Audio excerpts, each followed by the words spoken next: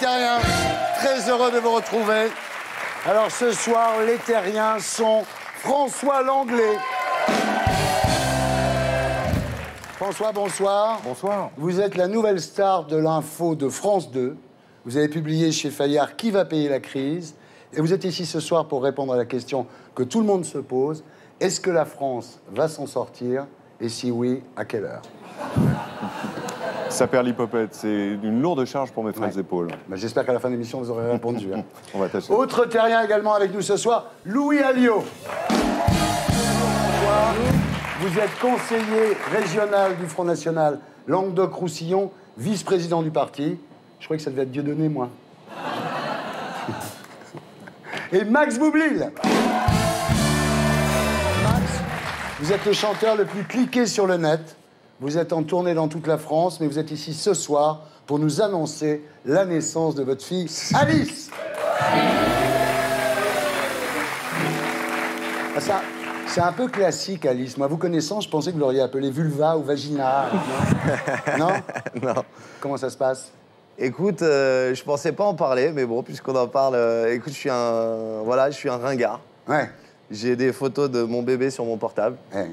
Comme tous ces mecs dont je disais, c'est des ringards. Je vais m'acheter une Citroën Picasso dans pas longtemps.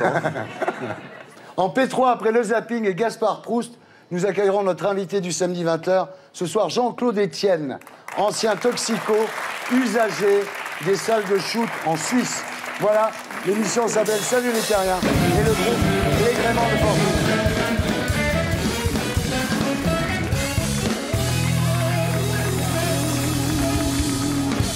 François Langlais, rebonsoir. Bonsoir. Très heureux de vous avoir avec nous ce soir, d'autant plus que l'agence de notation Standard Poor's vient de confirmer votre triple A en tant qu'invité de talk show. Là, vraiment, je suis flatté d'une telle notation. Il faut dire que le véritable vainqueur de l'élection présidentielle de 2012, c'est vous quand même. hein. Oh, c'est beaucoup dire. Ah ben si. C'était euh, un genre nouveau pour moi, Ouais. parce que je, je venais au fond d'un autre univers, c'était Ouais. la presse écrite. Ouais. Donc j'ai découvert tout ça euh, avec les paroles et des actes de, de France 2. Et, euh, et donc c'était un cadre euh, tout à fait euh, stimulant pour apprendre ce nouveau métier. Télérama a écrit de vous Le sacre de l'anglais est aussi celui de la prééminence du journaliste économique, espéré comme éclaireur providentiel d'une crise toujours plus indéchiffrable, qu'il parviendrait à réduire en abscisse et en ordonnée. C'est vrai. Sans doute, c'est vrai que la crise a fait beaucoup pour euh, la- la- globalement le fait qu'on s'intéresse davantage à l'économie. Cela dit, l'économie, c'est pas une science. Ouais. c'est une matière molle. Ouais. hein. Le, fondamentalement, c'est la psychologie qui est déterminante. Ouais. Et c'est plutôt ça qu'il faut s'attacher à décrypter sous les chiffres, même si les chiffres ont leur part de vérité et qu'il faut justement la montrer et questionner évidemment les politiques face à ces chiffres parce que c'est justement une expression de la vérité. Télérama vous appelle le journaliste qui compte. C'est assez flatteur.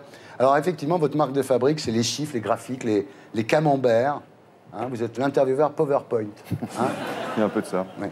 Alors, on connaît votre expression. Je vous ai préparé un petit graphe. C'est vrai. Alors, c'est vrai que vous avez perdu tous vos cheveux le jour où vous avez vu les chiffres de l'économie française, non? Non, c'était bien avant. C'était Bien bien, avant. antérieur, oui, oui. Alors, Vous faites partie, François, du cercle très fermé de ceux qui avaient prévu la crise en 2007, donc bien avant les subprimes, dans un livre qui s'appelle La crise des années 30 est devant nous, chez Perrin. Donc on est très attentif à ce que vous allez nous dire ce soir et à ce que vous dites dans votre dernier livre, Qui va payer la crise chez Fayard? Alors qui va payer la crise? Tout le monde sauf Depardieu, quoi. Ah, c'est vrai que les, ceux qui partent en Belgique, justement, cherchent à y échapper. Non, Ouais. euh, au fond, euh, si vous voulez, il y a une espèce de bagarre entre les contribuables, Ouais. qu'on charge beaucoup, justement, c'est pour ça que de, euh, Depardieu, il en tire les conséquences, et puis les rentiers, ceux Mm. qui possèdent le capital. Ouais. Et derrière cette bagarre, il y a une guerre de génération, parce qu'au fond, les rentiers, c'est plutôt les plus de 50 ans. Ouais. Ils veulent être remboursés de l'argent qu'ils ont prêté aux différents États. Et puis, ben, à l'inverse, les moins de 50 ans, ils sont engagés dans la vie active. payer. ben, en, en tout cas, on, leur, on Ouais. leur facture la note sous la forme d'impôts élevés. Ouais. Et puis, pour les plus jeunes, d'un taux de chômage beaucoup plus fort. Alors vous écrivez La crise à 1000 jours et on a décaissé 1000 milliards d'euros d'aide. Tout ça pour sauver l'euro, mais c'est un échec monumental. Oui, vous savez d'ailleurs qu'on ne se rend plus très bien compte hein, de ces chiffres, 1000 milliards, ça ne veut plus dire grand-chose. Et vous vous souvenez de cette anecdote, je crois que c'est dans un film américain, il y a un type qui hérite d'un milliard de dollars, et donc il dit un milliard, mais je ne sais pas, je ne me, représente pas ce que ça fait. Il va voir l'exécuteur testamentaire, et l'autre lui dit, c'est très simple en fait, pour un million, vous pouvez compter un dollar toutes les secondes, ça va durer 11 jours. Pour un milliard, ça dure 31 ans. C'est-à-dire que les 1000 milliards qu'on a dépensés pour la zone euro, c'est comme si on avait pris un euro toutes les ah, secondes pendant 31 000 ans. Donc ça donne la mesure de cette somme considérable qui finalement nous laisse quand même une Europe du Sud euh, complètement effondrée. C'est là où ça me semble justifier ce diagnostic. Euh, c'est-à-dire le Sud ne peut plus payer et le Nord ne veut plus payer. Donc effectivement, les risques maintenant, c'est que les contribuables du Nord refusent de payer. Et si un grand pays du Nord euh, qui fait défaut, tout s'écroule. C'est un peu le syndrome de Pardieu, si vous voulez c'est que justement les riches, ils ont par définition beaucoup d'argent, mais en même temps, au-delà d'un certain seuil, euh, ils considèrent que ça les spolie et ils ne veulent plus contribuer à la marge d'un pays, si on considère euh, justement les, limites de la France, ou bien euh, celle de l'Europe. Vous dites qu'il n'y a pas de solution libérale à la crise non, je ne pense pas. D'un certain côté, c'est une crise du libéralisme, de l'excès de liberté, en matière notamment financière, en matière de mmh. conduite de l'économie. Donc la, sortie de crise passe par un réaménagement des règles. Ça ne veut pas dire qu'il faut se barder de règles jusqu'à l'infini, mais ça veut dire quand même qu'il faut encadrer, et notamment le terrain de jeu financier, qui est quand même celui où les problèmes ont commencé. Vous êtes d'accord avec ça, Louis? Oui, tout à fait. On le dit depuis longtemps, nous aussi. Et malheureusement, pour la France et l'Europe, euh, et M. Langlais et nous aurons raison contre tous les autres. François, est-ce qu'il y a un risque de bank run? C'est-à-dire qu'un jour, on se retrouve tous en train de taper sur la porte de la banque en disant rendez-nous notre argent Ce risque est faible, mais on ne peut pas l'écarter. Il s'est produit euh, au Royaume-Uni il y a 5 ans. Aujourd'hui, euh, oui, absolument, qui a finalement été nationalisé. En Irlande aussi, hein, où on a dû nationaliser toutes les banques. Et aujourd'hui, en Europe du Sud, on voit qu'il y a pas mal de déposants qui retirent leur argent pour aller le mettre plutôt dans les banques du Nord, qui sont réputées plus solides. L'Europe est en déclin pour vous? Non, c'est pas irrémédiable en tout cas. En tous les cas, le, déclin de l'Eurovision annonçait le déclin de l'Europe. Eh oui, c'est vrai qu'il y a une certaine corrélation, mais ça va repartir un jour ou l'autre. C'est vrai Oui, je pense. L'excès de dette, un jour ou l'autre, il est résorbé. C'est-à-dire que quand on a trop de dettes, on ne les paye pas. Et à partir de là, ça va beaucoup mieux, on repart. Ouais. Vous croyez qu'Hollande va nous sortir de là, François Allez, non, c'est une vanne. Vous m'avez eu. Mais c'est marrant, Hollande, on dirait qu'il préfère que les riches deviennent pauvres plutôt que les pauvres deviennent riches. Oui, c'est vrai. Que... Non, mais sérieux. Hein. Il y, a derrière ça euh, un peu quelque chose de constitutif de la gauche quand même, hein, de la redistribution. Mais c'est vrai que c'est pas sans effet pervers parce qu'on prend probablement un certain nombre de risques quand euh, on taxe trop ou de façon euh, trop circonscrite certains des éléments dont on a besoin pour faire fonctionner un pays. Alors je conseille la lecture de votre livre Qui va payer la crise? C'est au rayon La France est dans la merde à la FNAC. Il y en a d'autres. c'est un rayon très nourri. Il y a du monde, il y a du monde. Alors, le plus extraordinaire de toute l'histoire, c'est que l'économie, c'est pas votre métier. Vous avez fait des études de lettres. Euh, vous avez fait une maîtrise de lettres à la Sorbonne sur Blaise Pascal. Oui. Et vous commencez en fait le journalisme après vos études. Vous êtes rédacteur en chef de Mimitel Magazine. Oui. Noble titre, qui, comme, son nom l'indique, justement, suivait les débuts de la télématique en France. Donc voilà. Et en 86, vous partez en Chine. Mm. Vous devenez professeur de littérature française à l'université de Shanghai. Donc François Langlais était professeur de littérature en Chine, c'est énorme. En fait, j'avais fait du chinois auparavant. Et ça m'intéressait d'aller voir d'un peu plus près ce pays qui était d'un certain côté le plus différent possible de ce qu'on pouvait imaginer à l'époque. C'était une autre Chine hein, qui n'existe plus. Parallèlement, vous travaillez pour des journaux français, dont l'Express. Oui. Et comme les demandes des journaux, évidemment, se focalisent sur l'économie, bah, vous vous mettez à l'économie, en fait. Un peu par hasard. Et, euh, et, puis finalement, euh, je suis embauché par un journal économique pour faire plutôt de l'étranger. Un journal qui s'appelle L'Expansion, où j'ai passé longtemps. Et j'ai découvert l'économie avec beaucoup d'intérêt et j'y suis resté. L'Expansion, Les Échos, La Tribune, ensuite BFM Business. Vous êtes directeur de la rédaction, BFM TV, vous êtes éditorialiste. Et enfin, France 2. Vous êtes rédacteur en chef du service France Politique et Économie. Voilà. Pas mal. L'économie étant mon centre de gravité. Vous dites le crack final est à venir. La fin du monde, vous y croyez là pour la semaine prochaine Oh non, je, non. crois que. Est-ce que ça servirait à quelque chose de fermer la porte à clé, par exemple C'est peut-être une bonne idée. Je ne sais pas. Après tout, pour un esprit rationnel, il faut commencer par ça. Louis Alliot, bonsoir. Bonsoir. Alors, vous êtes conseiller régional Front National du Languedoc-Roussillon vice-président du Front National et compagnon de la présidente, Marine Le Pen. Si un jour vous vous mariez, elle va s'appeler Alio Marine. C'est pas, pas terrible, hein C'est vrai. Vous allez vous marier? Je ne sais pas. Vous en parlez quand même. Euh, quelquefois, oui. Ah oui. Bien. Alors, vous, vous êtes né le 4 septembre 1969 à Toulouse, père ariégeois, mère algéroise. Alors, votre grand-mère maternelle tenait les archives du Parti communiste à Bab el-Oued, le quartier populaire d'Alger. Oui, c'était un quartier euh, qui était très à gauche hein, à cette époque-là, un quartier assez pauvre, Oui. Mais qui a été aussi le fer de lance de la défense de l'Algérie française au moment des événements. Mais elle était communiste, euh, votre grand-mère?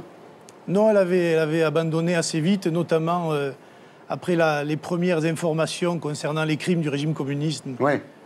juste euh, avant les années 30. Quoi. Très tôt alors. Oui. Alors, le père de votre mère était juif. Vous êtes juif, Salomon? oui, oui, c'est ça.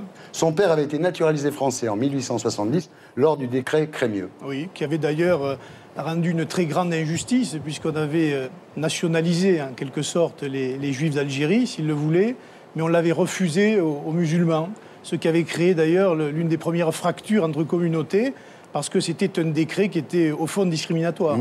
Mais alors, vous voyez qu'on peut assimiler des populations halogènes quand même, puisque vous, vous avez de la famille juive qui a été naturalisée française. Oui, non, mais À l'époque. Bien sûr, mais je suis persuadé qu'il y a des étrangers qui sont tout à fait assimilables Hum. à la nation France, mais ça demande des efforts et ça demande de faire euh, des sacrifices sur soi et quelquefois même sur sa culture euh, et sur la manière de se présenter et d'être euh, au quotidien. Alors, votre mère est rapatriée d'Algérie en 1962. C'est là qu'elle rencontre votre père, plâtrier, à Aix-les-Thermes, en Ariège. Votre père, depuis son retour de, de la guerre d'Algérie, il était devenu très nationaliste. hein. Il était parti socialiste Ouais. et il est revenu avec des idées euh, bien affirmées puisque en revenant dans les années 64-65, il va participer avec ma mère à la campagne Tix-Sévignan-Cour. Voilà. Campagne coordonnée par Jean-Marie Le Pen, déjà. C'est ça. hein, ouais. Et en 1974, donc vos parents votent Le Pen. À l'époque, le Front National faisait 0,7%. Ben donc oui. c'est vraiment des militants de la, de la première heure. On ne peut pas dire que ce soit des militants parce qu'ils ne distribuaient pas des tracts, mais euh, ils considéraient déjà que à la fois la droite et la gauche euh, avaient, avaient trahi euh, Ouais. ce en quoi ils pensaient. Si vous étiez né dans une famille communiste, vous seriez communiste? Non, c'est pas dit. Non, non, je ne crois pas. Je pense que les, les- les êtres humains aussi se façonnent eux-mêmes en fonction des événements et que euh, ça doit correspondre aussi à des périodes de la vie. Mais euh, aujourd'hui, je, ne vois pas- je ne vois plus l'intérêt, après la chute du mur de Berlin, après ce que l'on sait sur les crimes du Ouais. communisme, après ce que l'on sait sur le, le, le- le programme commun de la gauche, qui a été à l'origine de la fin des industries, du chômage, euh, de la fin Ah, du monde pas, ouvrier. Du monde ouvrier. Aujourd'hui, je ne comprends pas que l'on soit Ouais. communiste. Alors au lycée, vous êtes turbulent, très turbulent. Vous jouez au rugby et vous dévorez des livres nationalistes. Mais c'est en 1990, suite à l'affaire de la profanation du cimetière juif de Carpentras, que vous venez au FN. En fait, à l'époque, on accuse le Front National, et pour vous, c'est un montage complet. Le, le fait divers, lui, a eu lieu, c'est Ouais. évident. Mais je pense qu'à l'époque, M. Jox et M. Mitterrand ont monté ça en épingle. Ça, ça a d'ailleurs été raconté par le directeur des renseignements généraux, qui a dit que ça a été instrumentalisé du début jusqu'à la fin. C'est quand même des, des skinheads néo-nazis qui ont fait le truc. Les skinheads néo-nazis, ce n'est pas le Front National. Mais Enfin, il y a plus de chances que ça soit proche du Front National que si les mecs avaient été euh, trotskistes. non. Vous savez, ils ont leurs crimes aussi, ils n'ont pas Ouais. besoin de, de ça, Mmh, mais je mmh. pense pas.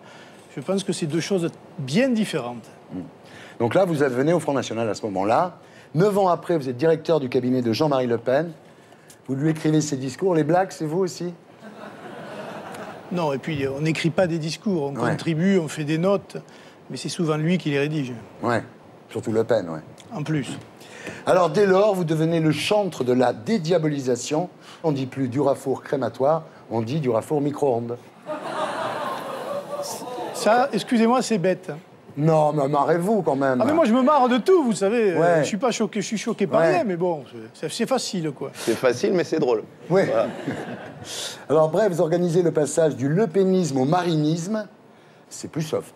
Je crois que c'est aussi un changement de génération, Ouais. un changement de style. C'est une femme. Euh, et puis la vie, euh, euh, la France, la vie de la France a évolué. Et on est bien obligé quand même de se positionner euh, sur ce qui fait le quotidien des Français et de ne pas se focaliser sur des choses d'ailleurs qui nous dépassent et qui sont désormais inscrites dans les livres d'histoire euh, Ouais. et dont on n'a pas à parler ou ou à reparler indéfiniment. Alors, là où j'y allais fort quand même, euh, Sarkozy nous avait fait Guy Moquet, et vous, vous avez dit Jaurès aurait voté Front National. Ben, Vous vous rendez compte que Jaurès, il a été abattu par un mec d'extrême droite quand même en plus. bah oui, mais comme je ne suis pas d'extrême droite, ça ne me bah choque pas oui, plus que ça. évidemment. Vous confondez pas avec Pétain, non? Et puis non plus, non. Est-ce qu'il aurait voté Front National, sérieusement, Jaurès? Ben, à partir du moment où il considérait que la patrie était le seul bien qui restait quand euh, on avait tout perdu, aujourd'hui, je suis persuadé que face à la politique ultralibérale de M. Hollande et de la gauche en général, il se poserait beaucoup de questions, ça c'est sûr. Alors c'est vrai qu'avec Marine et, et Marion Le Pen Maréchal, le FN offre un visage plus avenant. On l'avait invitée, euh, Marion, mais elle ne pouvait pas venir. Parce qu'elle était en plein révisionnisme de ses examens. Ça vous fait pas marrer non plus, ça? Non, ça non. On va finir par croire que vous n'avez pas le sens de l'humour. Si j'ai beaucoup d'humour, mais bon, Ouais. je- prendre ces terminaisons, Ouais. c'est quand même revenir sur des choses qui nous sont balancées depuis maintenant 20 ans, hein, Ouais. systématiquement. Enfin, les communistes, vous leur parlez bien du goulag, vous aussi, non? Ah oui, mais eux, ils en sont responsables. Moi, je ne fais pas partie de cette famille politique qui a contribué à, euh, au génocide de la Deuxième Guerre mondiale. C'est une différence de taille. Bon, alors, Max Boublil, comment ça va? Max Boublil, vous êtes ici ce soir pour la sortie de votre premier enfant. Alors, Alice a combien de jours? Elle a 4 jours. Ah ouais. Voilà. Qui la garde? Euh, sa maman. Elle doit vous en vouloir. Vous sortez, vous la laissez à la maison Bah, avec je la suis surtout en tournée en ce moment. Le mec en Ah ouais. profite pour placer sa, tour- sa promo, tu sais. non, non, je suis en tournée, donc euh, ouais, ouais, je suis, je suis pas souvent là, je suis souvent en voyage. Ouais. Donc je me fais envoyer des photos. Vous avez pris une doublure pour le rôle de papa ou faites vous-même les cascades? Non. tu sais, il y a une phrase de comédien un peu ringard qui dit Papa, c'est mon plus beau rôle. Ah C'est bien ringard, ça. En tous les cas, vous avez l'air en forme. Pour un mec qui change les couches, qui dort plus, qui se fait vomir dessus trois fois par nuit. Mais c'est très agréable. Ouais. Dites donc, le jour où elle va être à l'école, cette Ouais. petite, quand elle va revenir avec son carnet signé Max Boublil, C'est pas sérieux. non. Et le jour où ses potes, ils lui montreront mes chansons, Ouais. j'ai vu ta mère sur chatroulette. Alors aujourd'hui, Max, auprès des jeunes filles, vous êtes aussi populaire qu'un piercing au nombril, parce que vous avez inventé la chanson de cul rigolote pour les 12-15. Voilà. Ou pour plus, hein, on voit que ça fait rire un peu tout le monde. hein. Moi aussi, oui. Voilà. Ça marche, c'est un bon créneau, hein Je l'ai pas vu comme un créneau parce que je suis pas un, gros dégueulasse qui veut faire des ronds. Euh, je l'ai vu euh, parce que ça me faisait marrer, voilà. Vous pensiez qu'il y avait un tel marché sur la chanson de... Je suis un peu le Chantal Goya du pauvre. Voilà. C'est ça. Vous êtes devenu l'idole d'une génération de, de futurs chômeurs qui passent leur temps à glander sur YouTube Exactement. en envoyant des SMS bourrés de fautes d'orthographe. C'est ça. C'est un peu votre public, ça C'est un peu mon public. Ouais. Alors, votre première chanson, c'était Ce soir tu vas prendre. C'était le teaser du spectacle, en fait. Et il y a eu 2 millions de vues. Ouais. C'était incroyable. Après, il y a eu J'aime les moches, Mhm. T'es bonne, Chatroulette, Prête-moi ta meuf. 90 millions de vues sur Internet. Et Suzanne Boyd. Suzanne Boyd. Oui, Ça, c'est quand même un Ouais, son- c'est Je pareil. me tape Suzanne Boyd. Ah, ouais. c'est- Une chanson électro. Ouais. c'est presque comme euh, Psy, quoi. plus Alors, c'est marrant parce que quand Sébastien fait ce genre de chanson, tout le monde trouve ça lourd et vulgaire. Et quand c'est vous, tout le monde trouve ça hyper branché. Euh, écoute, euh, je pense que c'est peut-être les arrangements. Euh, On passe maintenant à l'actualité de la semaine avec l'édito de Blacko 1. Et c'est Frédéric Bréban, journaliste à Trends Tendance Magazine et chroniqueur à la RTBF, que nous retrouverons sur ce plateau après le magnéto.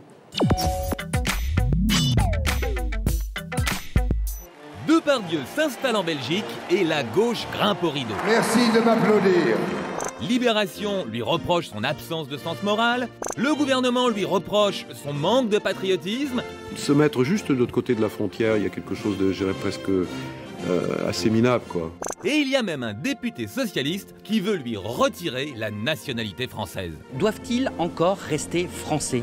Mais comment voulez-vous empêcher notre GG national d'être français? Il est râleur, indiscipliné, bagarreur, c'est Obélix, c'est Cyrano, c'est le comte de Monte Cristo. Alors, Depardieu a-t-il vraiment besoin d'un tampon de la préfecture pour incarner la France?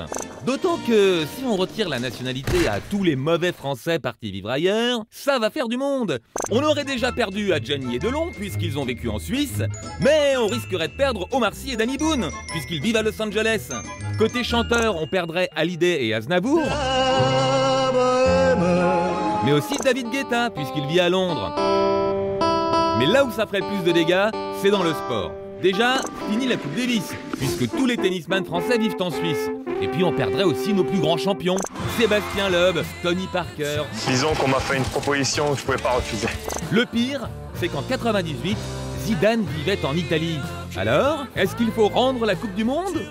Et encore, les célébrités, ce n'est que la partie émergée de l'iceberg. Ces Gaulois connus sera vraiment tout permis. Pardon? Mais un paquet de riches anonymes ont eux aussi choisi l'exil fiscal. La preuve Dans le village belge où s'est installé Depardieu, un quart des 10 000 habitants sont des Français. Alors, est-ce que ce n'est pas un peu inquiétant de voir que tant de Français qui excellent dans leur catégorie choisissent l'exil? On va finir par croire que le talent et le succès sont incompatibles avec la nationalité française. Eh bien revenez les gars Voilà, c'était l'édito de Blaco, mise en image de Julien Graff. Frédéric Vraiment, bonsoir. Vous êtes belge. Vous êtes journaliste économique à Trends Tendance Magazine, chroniqueur sur la RTBF. Bienvenue parmi nous. Alors voilà, la France se retrouve dans une situation assez peu enviable. Les pauvres veulent venir profiter du modèle social français et les riches veulent partir pour pas financer le modèle social français. Voilà la situation dans laquelle on est. Alors en Belgique, comment ça se passe et pourquoi les riches s'y exilent-ils? Alors en Belgique, tout le monde paye hein, des Oui. impôts, contrairement à la France où il n'y a que 50% des gens qui payent des impôts. Là-bas, tout le monde paye. C'est-à-dire qu'à partir de 600 euros par mois, on paye. Oui. Vous savez, on est toujours le paradis fiscal d'un autre. hein. Et si vous interrogez la classe moyenne euh, en Belgique, elle se plaint. Si vous êtes journaliste, employé Ouais. de banque, euh, postier, facteur, euh, vous payez plus d'impôts qu'en France. Bah oui, à 1500 euros Oui, oui. par mois, on paye 45% d'impôts en Belgique, dis donc. Alors la grosse différence, c'est qu'effectivement, ceux qui disposent d'un très gros patrimoine, les Ouais. rentiers, eux, Ouais. ils ont toute une série d'armes fiscales pour pouvoir euh, justement mieux vivre. Chez nous, il n'y a pas euh, d'imposition sur les plus-values, qu'elles soient mobilières, immobilières. Ouais. Il n'y a pas d'impôt sur les grandes fortunes. Ça n'existe pas. Alors que 4 Belges sur 5, selon un dernier sondage, veut cet impôt. Alors, Depardieu, donc s'il est parti en Belgique, Oui. c'est pas pour pas payer son impôt sur le revenu, c'est pour des raisons patrimoniales. Donc c'est pour ça, sa succession un peu, non? Oui, tout à fait. Les droits de succession, les donations, euh, les, les impositions sur les plus-values sont nettement moindres, ce qui fait que ça attire le français. Ouais. Mais il n'y a pas que ça. L'immobilier aussi. Si vous êtes à Paris, Amsterdam ou Londres, euh, les revenus locatifs sont énormes. En Belgique, pour le même budget, vous pouvez trouver un appartement ou une maison qui fait le double en superficie. Donc les Français viennent aussi à Bruxelles pour ça, parce qu'il y a une certaine qualité de vie. On parle le français, euh, on trouve des appartements euh, beaucoup mieux, moins chers, et puis le Belge est accueillant. Nous, on est une petite. euh, non, je crois que le Belge, Belge est est modeste. sympathique. C'est surtout le pays où les, les maisons closes sont, sont libres. C'est peut-être aussi pour ça qu'il a C'est peut-être pour ça qu'il était là-bas. Depardieu.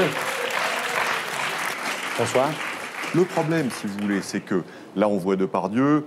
Bon, c'est évidemment un symbole, mais pour autant qu'on puisse le savoir, aujourd'hui, ça ce ne sont pas les Depardieu qui sont majoritaires, c'est des gens jeunes, très mobiles, Ouais. parce qu'ils ont une culture internationale, qu'ils parlent facilement l'anglais, qui peuvent s'exporter, se transplanter très facilement, et c'est des gens dont un pays, comme la France, comme tout pays, a besoin, parce que c'est des gens, évidemment, qui montent des entreprises et qui font tourner la machine économique. Et ça, c'est vrai que c'est assez préoccupant. Mais alors, les Belges en pensent quoi quand ils voient venir comme ça tous ces Français qui viennent se mettre à l'abri? Euh, il y a aussi le côté positif, ça crée du Ouais. business. Mm. Ça donne du boulot aux avocats, aux notaires, aux gestionnaires de portefeuille, de Aux fortune, cavistes. aux cavistes, aux traiteurs. Moi, Ouais. il me revient de mes contacts que les exilés fiscaux qui sont à Bruxelles ne font pas à bouffer, hein. ils vont au resto, ils Ouais. invitent euh, Ouais. des gens. Les traiteurs se frottent les mains. Il y a même un magazine qui s'appelle euh, Juliette et Victor qui est uniquement destiné aux exilés français. Il y a un deuxième magazine qui s'appelle Avenue Montaigne, un trimestriel qui va être envoyé. Ils ont piqué les, les- les adresses euh, du consulat de France et, et va- ça va être envoyé aux plus riches. Alors Louis, euh, quand le Front National sera au pouvoir en France, qu'est-ce que vous ferez quand un mec comme Depardieu fait ça? De toute façon, vous ne pouvez pas le retenir. et Il faut, il faut faire appel à sa, à sa conscience, parce qu'il est un peu le représentant de l'art Ouais. cinématographique français. Je rappelle qu'on est un pays qui s'est beaucoup battu pour l'exception culturelle, Ouais. Que cette exception culturelle, elle, coûte, elle a un coût au contribuable français. Le contribuable paie pour cette exception Pour culturelle. les aides au cinéma, vous voulez dire Voilà, et, et c'est vrai que c'est assez choquant de voir un acteur de cette dimension à la fois bénéficier de cette exception culturelle et puis une fois qu'il en bénéficie, s'exiler pour essayer d'échapper à l'impôt. J'ajoute que ça montre un défaut de l'Europe majeur. Il n'y a plus de frontières, sauf en matière fiscale, et ces frontières fiscales, elles peuvent bénéficier aux, aux plus nantis d'entre nous, en quelque sorte. Cela dit, euh, si on faisait l'harmonisation fiscale, euh, le risque, c'est que les gens s'en aillent en dehors d'Europe. Mieux vaut qu'ils s'en aillent en Belgique plutôt qu'à Singapour. Ouais. Et, et si vous voulez, euh, justement, le fait qu'il y ait des fiscalités différentes, ça maintient quand même une certaine pression sur les gouvernements pour ne pas trop augmenter les impôts chez eux, en principe. Ouais. Et la bonne façon de traiter le problème, plutôt que d'harmoniser et de monter les impôts partout, c'est probablement de les descendre là où ils sont trop Oui, parce que élevés. l'harmonisation, effectivement, sur qui on s'aligne pour harmoniser Exactement. Ouais. Alors, si vous voulez, tous les pays qui ont une fiscalité élevée disent Ah bah oui, il faut harmoniser. Autrement dit, il faut que les autres taxent aussi lourdement que nous. C'est pas forcément la solution. Mm. Et, et on voit bien que l'Europe a beaucoup de mal à se mettre d'accord. Toutes les décisions fiscales sont prises à l'unanimité, c'est-à-dire qu'il suffit qu'un État, quel que soit son poids dans l'Union, dise non pour que ça ne se fasse pas. Ouais. Et le différentiel, alors, parce que la solution, ça serait peut-être justement de dire à Depardieu, écoutez, euh, vous pouvez habiter en Belgique, mais vous payez euh, l'impôt en France. Ça, ça, c'est le système américain. Le système américain euh, se, se- se focalise non pas euh, sur la résidence, mais sur la nationalité. Vous êtes américain n'importe où dans le monde. Voilà, il y a ce fameux différentiel d'impôt. Sarkozy l'a évoqué, si je ne m'abuse. Euh, certains sont montés au créneau. C'est une solution. Mais à ce moment-là, qu'est-ce qui empêche un, un citoyen français de devenir belge C'est ce qu'a fait Eric Emmanuel Schmitt. hein. Ouais, ouais. Français, maintenant il vit à Bruxelles, citoyen Ouais. belge. Alors, en fait, moi j'ai un copain qui s'appelle Alexis Trégaro et qui a une idée très marrante. Il dit pourquoi est-ce qu'au-delà d'une certaine somme payée d'impôts, pourquoi est-ce qu'on ne peut pas choisir où on envoie cet argent? Vous payez ce que vous avez à payer, Oui. et puis après vous offrez une école à un village, euh, vous offrez une crèche, vous offrez un hôpital, et on- vous êtes en photo dans le journal à côté de votre hôpital. Parce qu'aux États-Unis, il y a un truc qui marche très bien, c'est que les gens font tous des dons, mais il y a leur nom dessus. L'impôt, euh, constitutionnellement, vous ne pouvez pas faire ça. Parce que euh, c'est justement, c'est une masse qui est indivisible, qui ne peut pas être affectée. C'est la puissance publique Ouais. qui le fait en fonction des choix. Sinon, il n'y aurait Mais- que des hôpitaux et que des écoles, quoi. Oui, euh, pour- enfin, probablement, on peut imaginer que ça ne serait pas euh, idéal. Mais euh, il y a le système des fondations. Alors, Ouais. en France, il n'est pas très développé. Bah non. ça vous permet de sortir de vos revenus ou de votre patrimoine de l'argent et puis de l'affecter vous-même Ouais. à la bonne œuvre que vous choisissez parce que vous estimez qu'elle est nécessaire. L'exemple le plus célèbre, c'est Bill Gates, hein, qui a des, des dizaines de milliards de dollars de patrimoine et qui a transféré tout ça Je dans pense une que les, fondation. les- les super riches, en tous les cas, s'ils pouvaient dire où ils donnent l'argent, c'est sûr qu'ils seraient plus d'accord pour le donner. Le système des fondations devrait Ouais. permettre Ouais. de faire ça euh, tout en respectant les fondamentaux Ouais. euh, nationaux et constitutionnels français. C'est quoi le programme du Front National sur les impôts, là? La, la tranche supérieure, à nous, on l'a- on l'a fixée à 46%. Ah ouais. et pas à 75, considérant que la, la mesure de M. Hollande était une mesure de communication politique, parce qu'elle concerne, je crois, 6 000 personnes, je crois, en France. Même pas, je Et, crois, oui. euh, c'est, euh, Et donc, elle est, elle est vraiment une mesure pour faire de la publicité en disant nous, on est plus sociaux que les autres. Ouais. Je sais pas, moi, je, moi, je connais pas trop l'économie, mais euh, j'ai raté mon bac, tu vois. euh, euh, mais un bac ES. Et Ah, moi, en terminale, ouais, en terminale, on avait étudié une courbe euh, d'impôts. Euh, mais c'est tout simple, c'est-à-dire que tout le monde doit le savoir, c'est qu'au bout d'un moment, les impôts, ça sert plus. Parce que quand tu taxes trop, ça rapporte moins. Ben voilà. c'est, la, la fameuse maxime trop d'impôts, tu l'impôt. Et voilà. Mais c'est une courbe, le tu- programme de terminale. Oui, oui. C'est vrai. Bah, c'est vrai, à un moment. Euh, Moi, il y a un truc qui me tue, c'est qu'on parle de patriotisme. Il n'y a plus aucun patriotisme dans ce pays et dans les autres. Et là, vous parlez toute la journée de patriotisme en ce qui concerne euh, Depardieu. Est-ce que On se focalise beaucoup sur Depardieu, et c'est vrai que vous l'avez montré tout à l'heure, il y en a d'autres. Et puis il y en a qui restent quand même. hein. J'ai été agréablement surpris, moi, par l'interview de Michel Sardou, Ouais. qui a dit à Depardieu qu'il allait s'embêter beaucoup euh, Mais justement, en Belgique. justement, c'est pas pour dire du mal de votre pays, mais enfin, s'il faut aller habiter à Néchin, Ah.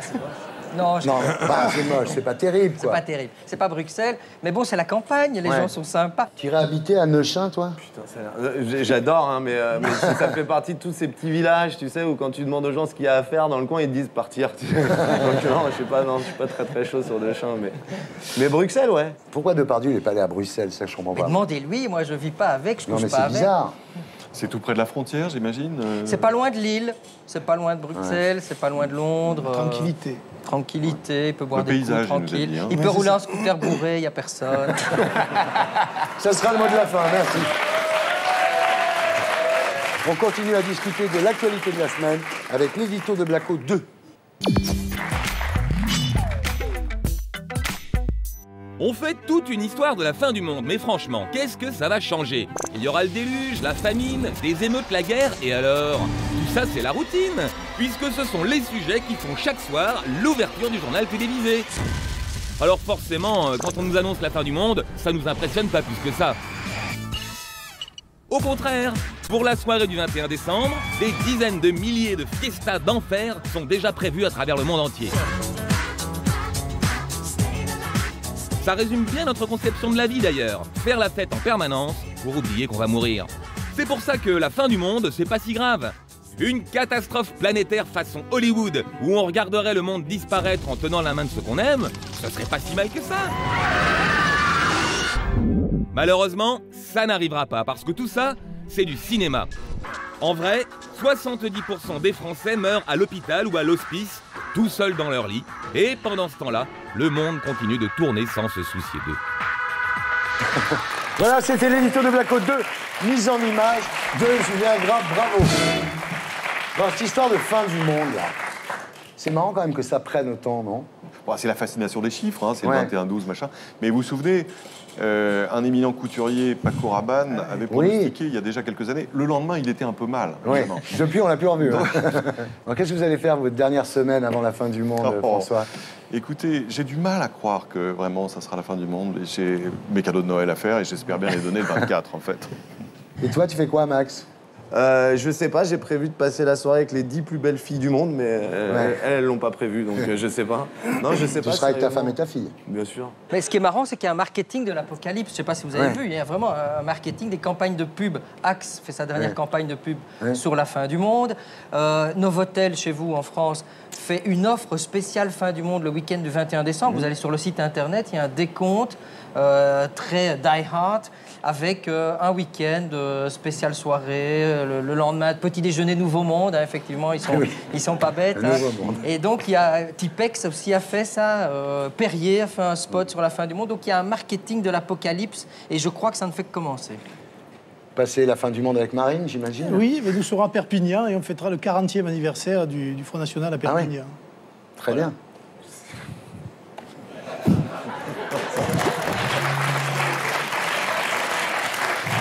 Et nous accueillons notre invité du samedi 20h ce soir, Jean-Claude Etienne. Bonsoir. Au moment où la première salle de shoot va ouvrir en France, je voulais inviter quelqu'un qui a été usager d'une salle de shoot en Suisse. Voilà. J'accueille maintenant Gaspard Proust pour Elle est pas belle la vie?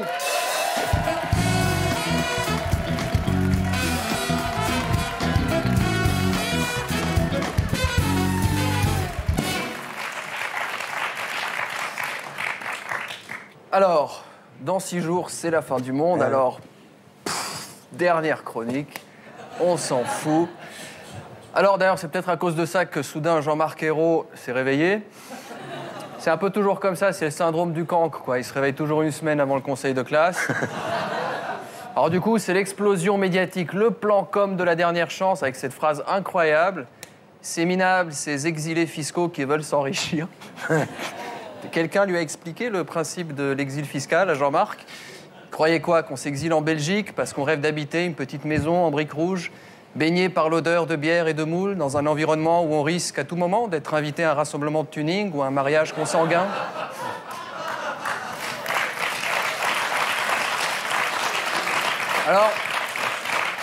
Alors, oui, c'est vrai, on a perdu de Dieu. C'est vrai, on a perdu GG. Mais est-ce vraiment un drame? Avec tous ses pontages et son cholestérol, il rapportait peut-être en impôts. Mais qu'est-ce qui coûtait à la Sécu quoi.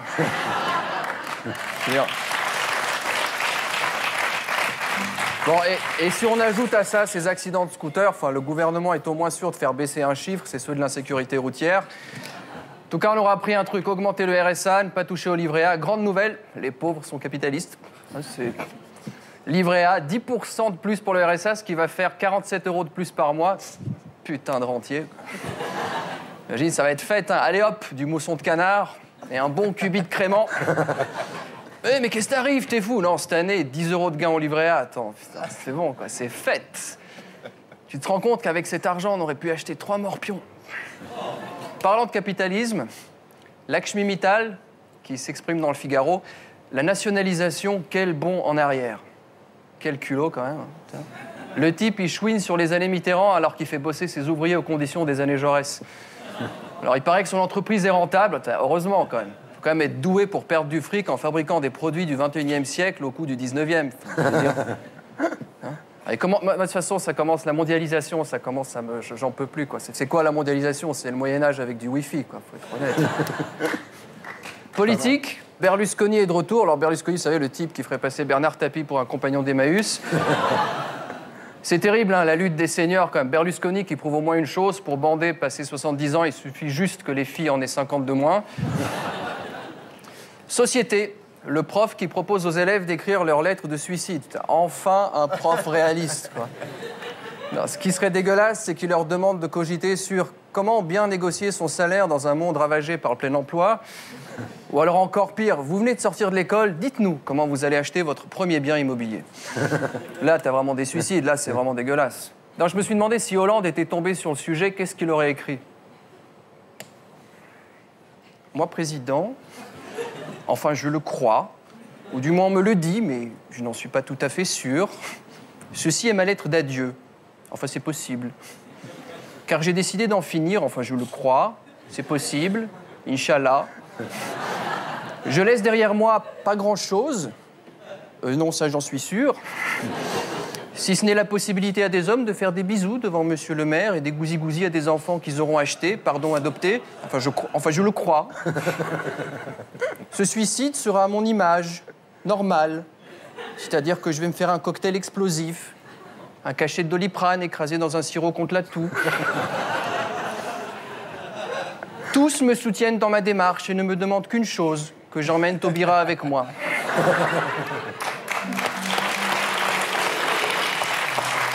D'ailleurs, parlant de, Miss France, Taubira, je ne sais pas si la transition est idéale, mais enfin, on fait avec ce qu'on a. Le CRAN, alors c'est cette association de lutte pour la représentation des Noirs, se plaint que des Françaises d'origine africaine n'aient pas été représentées pour le concours de Miss France. Ce qui est à peu près aussi absurde que si le Ku Klux Klan se plaignait de l'absence de blancs dans les clips de rap. D'ailleurs, je me suis dit, plutôt que de se plaindre de l'absence de noirs à Miss France, ils auraient pu se réjouir de leur absence au Téléthon. D'ailleurs, il paraît que les audiences de Miss France ont été supérieures au Téléthon. Bon, c'est normal. T'as pas envie de t'attacher à des gens qui vont peut-être pas passer l'année. Je ne sais pas. C'est une supposition. Et il y a eu ce malheureux fait divers, quand même, parce que la semaine n'a pas été très riche, mais bref, ce type qui s'évade parce qu'il est maltraité en prison. Oui. Pensez rencontrer qui en tôle Des disciples de Gandhi euh, Pensez que c'était quoi une prison, un spa avec massage à l'huile de vidange et cours de stretching anal? Faut- peu de saleté parfois, ça fait pas de mal. Bon. Alors bon, le type complètement flippé, il est d'accord d'aller dans une prison, mais s'il y a des types bien, c'est comme demander à être hospitalisé parmi des gens sains pour être sûr de pas être déprimé. C'est vraiment les exigences à la con. D'ailleurs, à propos de santé, j'avais vu un truc, on a, on a réussi à guérir du cancer grâce au virus du sida. C'est impressionnant quand même. Bon, je rappelle que le sida est une maladie grave, mais qui, contrairement aux rumeurs, ne s'attrape pas par le siège des toilettes. Euh, sauf si le type d'avant ne s'est pas encore retiré.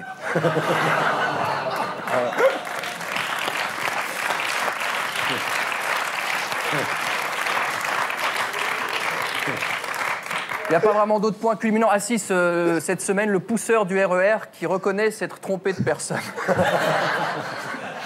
C'est vrai. Non, mais je- moi, je demande, je demande donc au type qui était censé se faire pousser de se dénoncer pour éviter d'autres victimes. Enfin,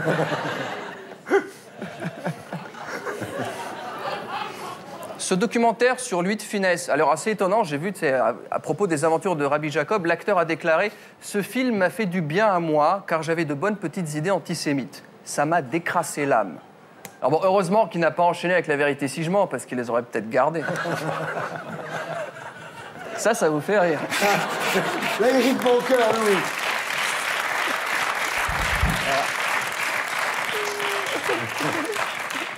Vous êtes trahi. Il se marrait pas tout à l'heure avec moi. Mais alors ça, ça, Voilà. ça décolle. Bon. Terminé sur une bonne nouvelle quand même. Valls a décidé de supprimer l'aide au retour pour les Roms. Pour une fois que c'est les Roms qu'on tape au portefeuille. Bravo. Alors, pas belle la vie Super. C'était Castor Rouge retrouverez ici la semaine prochaine. Et d'ici là, sur canalplus.fr. Vous pouvez suivre l'actu de l'émission et réagir sur Twitter via le compte Létérien et le hashtag SLT. On passe maintenant à notre invité du samedi 20h.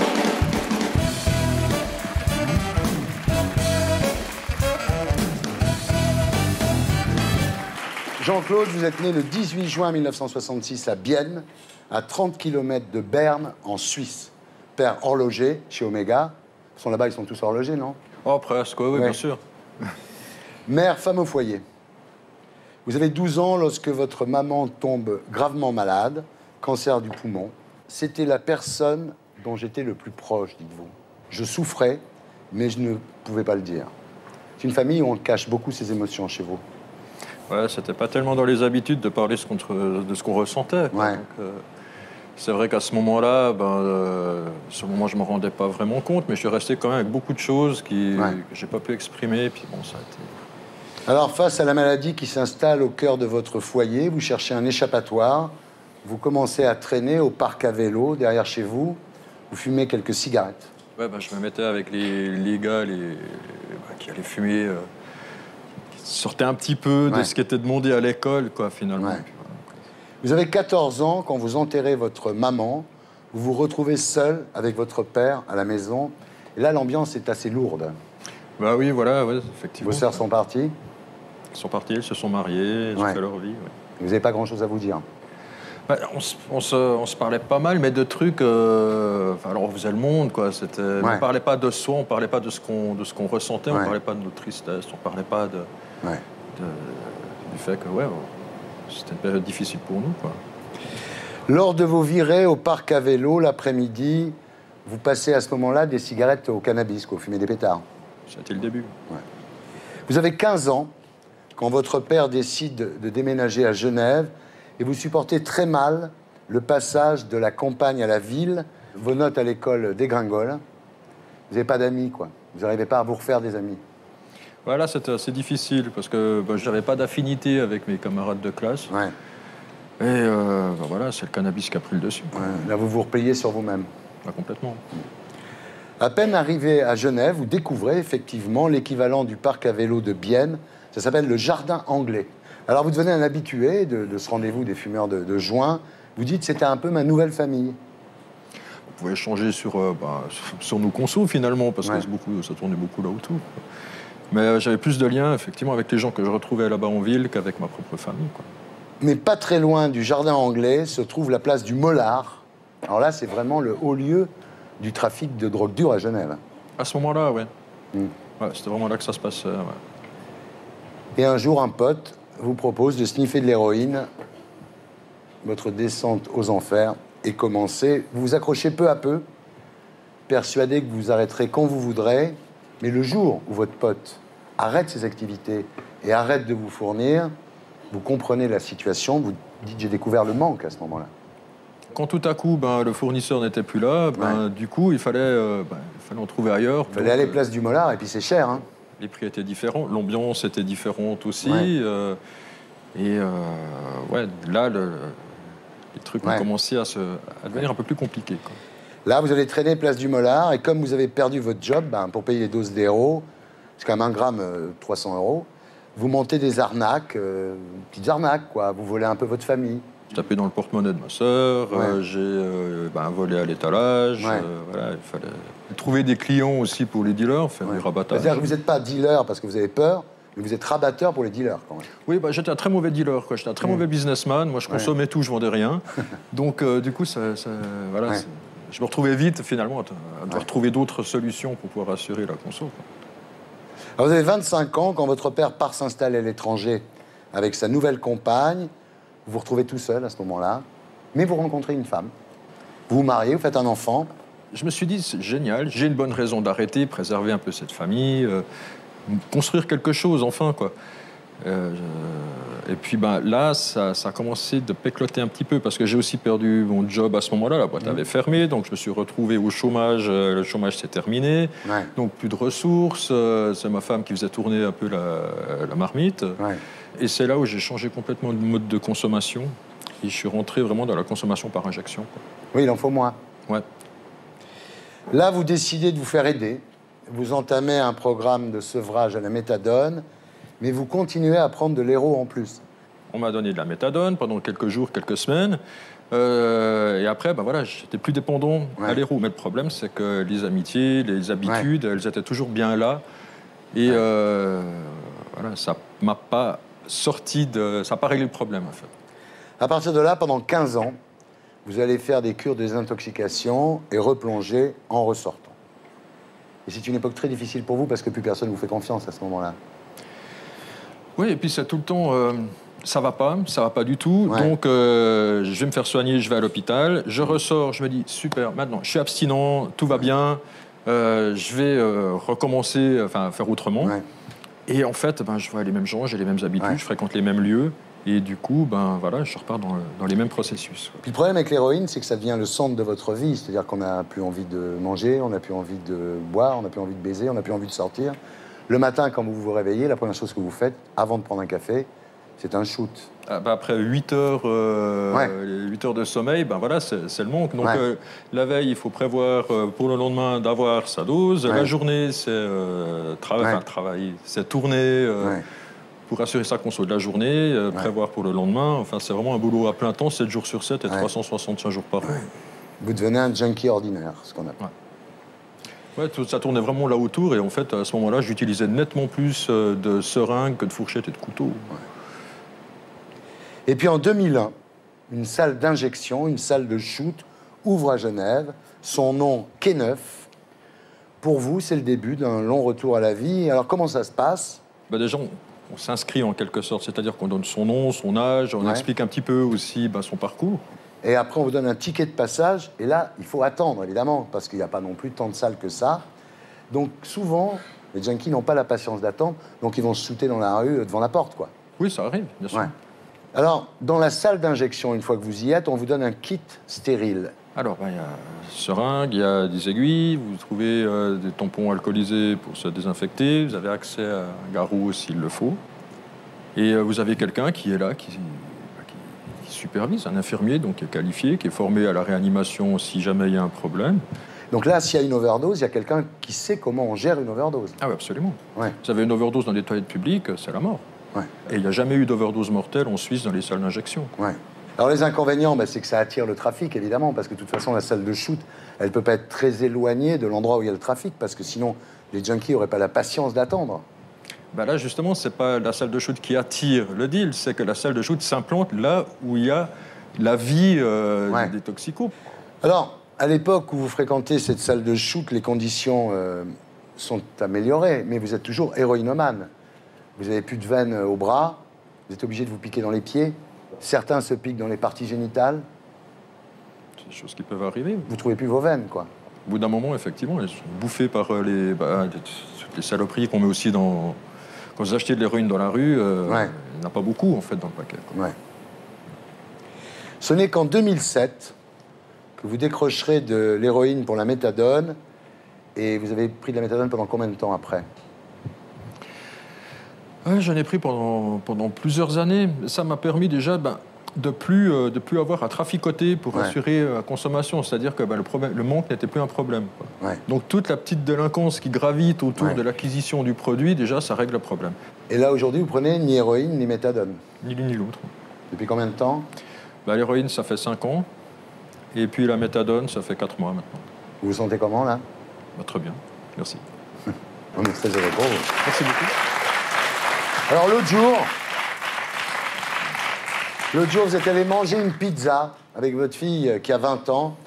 Et elle vous a annoncé qu'elle voulait rentrer dans la police. Ouais, moi, j'ai trouvé ça génial. quoi. C'est que Ouais. quelque part, euh, bah, voilà, les- on ne transmet pas forcément les, les problèmes qu'on peut avoir. Et Ouais. puis, ça ça m'a aussi rassuré dans le fait que bah, si elle suit cette voie-là, c'est que quelque part, elle ne part pas dans la conso. Peut-être qu'elle bossera au stup. Peut-être. possible. Tiens, vous je dites- connaissais votre père. Ouais. Conclusion, la salle de shoot m'a permis de décrocher et m'a rendu ma dignité. Bah, ça m'a permis, euh, ça m'a permis beaucoup de, de pouvoir gentiment euh, réapprivoiser un peu le, ben, le, monde des vivants, parce qu'on est vraiment dans un peu un autre Ouais. monde. Mm. Euh, C'était un lieu où euh, c'est un lieu de rencontre sociale où euh, les gens du quartier, la police, les usagers, les travailleurs sociaux, euh, parfois se mettaient autour d'une table et discutaient euh, des Ouais. problèmes. Donc quand tout à coup est venu sur la table le problème du matériel qui traînait dans, dans le quartier, l'équipe qui gérait le lieu s'est dit, bah, tiens, et si on impliquait des usagers dans le ramassage des seringues autour? Et ça a permis comme ça de, de, bah, de me réapproprier un petit bout, bah, voilà, un petit job. Alors c'est- sûr que c'est pas c'est pas le top, hein, ramasser des pompes, mais là, bon, bah, voilà, je pouvais tenir de- commencer à tenir des horaires, à, à me sentir impliqué dans quelque chose. Il y a eu un petit journal, il y a eu voilà, il y a eu des choses qui m'ont permis de, de- de me réapproprier un peu une, certaine confiance en moi. Ouais. Et puis le fait que, ben, justement, j'étais pas j'étais pas qu'une merde, quoi.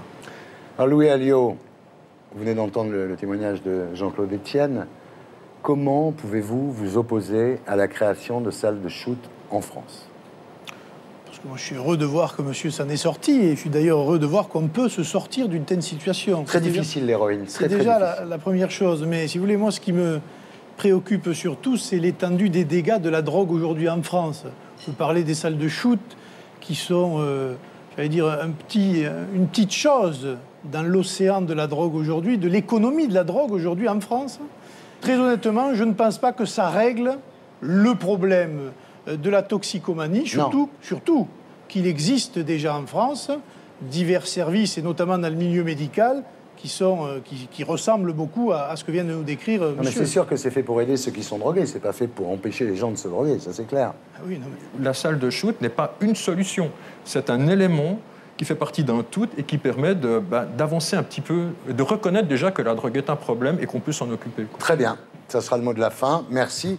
Voilà, c'était Salut les terriens, votre talk du samedi avec François Langlais pour Qui va payer la crise chez Faya et France 2, évidemment. Louis Alliot, vice-président du Front National et conseiller régional Languedoc-Roussillon. Max Boublil, en tournée dans toute la France avec son spectacle en sketch et en chanson. Frédéric Bréban de Trends Tendance et de la RTBF. Et Jean-Claude Etienne, merci de votre témoignage. Merci à tous ceux qui m'ont aidé à faire cette émission. Je vous laisse avec Made in Groland. Et pour les abonnés à 20h55, Hors Noir de Jean-Jacques Hano. Rendez-vous ici la semaine prochaine. Et d'ici là, sur canalplus.fr, avec en bonus le top des vannes, l'édito de Blacko, l'édito des Gréments et Gaspard Proust. Salut les terriens.